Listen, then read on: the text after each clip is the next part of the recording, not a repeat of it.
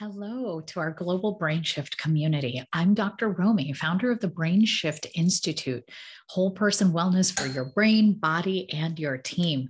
I wanted to record this special message to you all. I've just finished my dinner in my home office here in Orlando, Florida, and about to force myself to do digital detox. And I wanted to just welcome, um, we have welcomed over 10,000 people in the last six weeks to our brain shift community. You are watching this video likely because you took the busy brain test in the last six weeks at one of our corporate speaking events, or if you heard me on a podcast. And looking at the data from the last six weeks, it seems as if over 80% of people are scoring above a 30 on your busy brain test. And I didn't want to leave you panicked. And I wanted to do a check in. How are you doing? We discussed some easy steps for you to do in the lecture. And I thought I would just circle back with a gentle reminder. I know life can be upside down as we transition into spring. As I record this video and the world is opening up, many of you may be taking spring break with your families. And life can feel even more hectic. And you're like, what happened? I went on vacation.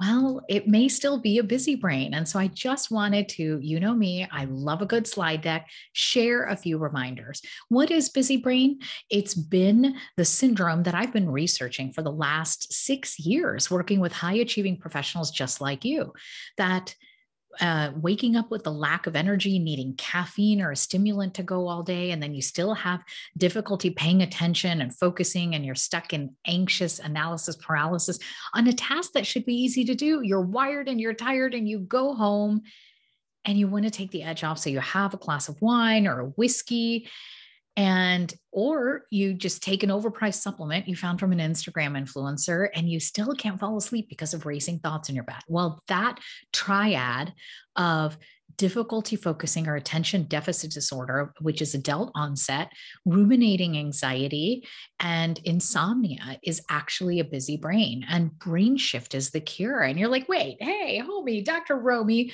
what is brain shift? Well I had a little time on my hand in the pandemic. Did you? And I got bored binge watching um, Tiger King on Netflix. Actually, I was rather traumatized. So I thought, let me do something more joyful and dig into the psychoneuroimmunoendocrinology research. And by now, you have heard all the health and wellness advice. It's conflicting. You're confused. You don't know what to follow as a brain doctor and chief wellness officer and one of the go-to authorities for Fortune 500 companies to talk about stress management and burnout, I wanted to find the solutions.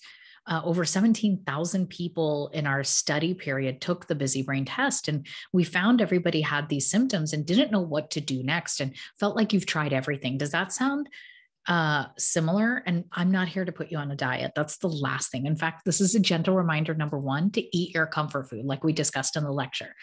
But brain shifts are the eight most proprietary micro habits that, when you stack them on each other, will make you feel better. What did we find? You're not alone if you had a high score on the busy brain test. People either found pattern one, they can't fall asleep due to um, racing thoughts at night, you wake up in the middle of the night and you can't go back to sleep, or no matter how much you slept, you woke up exhausted. Um, type in the comments below on YouTube if or Instagram if you're type one, two, or three. So, what did you do? I asked you to start with the micro habits um, of weeks one and two, where I really want to help you restore your sleep and your sanity. And how do we turn down that busy brain? Well, it's taking a good old fashioned pen and paper. And you don't need a fancy journal because look at mine, they're all sitting here pretty and empty, just a random piece of paper and pen. And if you think it, ink it, make lists and to do lists of what you need to do at home, what you need to do at work because our busy brain center in the brain is like a cloud storage space that's like out of out of space.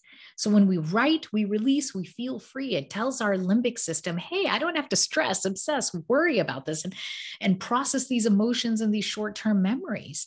That's what i want you to do. You had a reminder on the link to set a regular time to go to bed and wake up. Could you do that for the next 7 days and try to do what I'm going to do after I record this video digital detox for 30 to 60 minutes prior to bed and try a brain dump. And you got some guided meditations in your resources. So, this is just a gentle reminder from your homie, Dr. Romie, to try and be gentle with yourself and get back on track because I'm a firm believer that if we can't re- we can't rebuild our relationships or businesses without first getting the state of our brain straight. And that's what brain shift is all about. Do you have any follow up questions for me? Hit reply on this email or leave a comment below on YouTube or on Instagram. I want to know how you're doing. It was an honor to meet you all um, virtually for many of your conferences, in person um, uh, for conferences and your company meetings. And we're here to be of service. We are revving up for May, a busy schedule. It's Mental Health Awareness Month. We're really excited to work with our corporate teams globally. We are uh, traveling again in person and doing virtual workshops. So if I can be of service to you, click the link below to the speaking page and reach out. We're here to help you and your team brain shift.